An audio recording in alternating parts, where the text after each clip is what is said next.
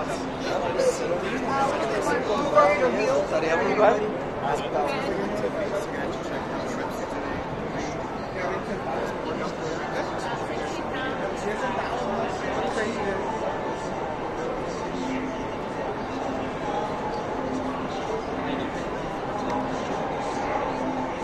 this is a prototype version.